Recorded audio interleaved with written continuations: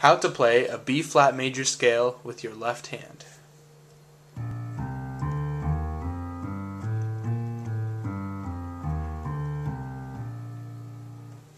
Start with your third finger on B flat, then second finger on C, first finger on D, fourth finger on E flat, third finger on F, second finger on G, first finger on A, and then third finger on B flat.